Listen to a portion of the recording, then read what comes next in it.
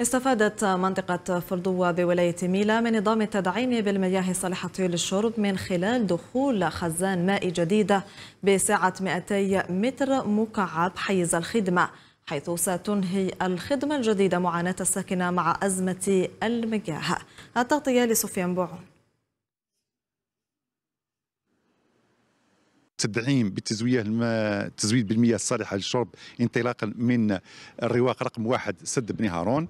أين تم آه، تخصيص 10 لتر في الثانية لهذه المنطقة المنطقة التوسع آه، السكاني. قمنا بإنجاز حوالي 6 كيلومتر من القنوات 300 ملم وخزان مائي ب 2000 متر مكعب.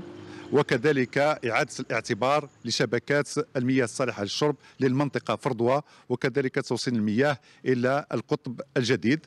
وحاليا آه، الناس الساكنة تستفيد بالمياه بطريقة عادية.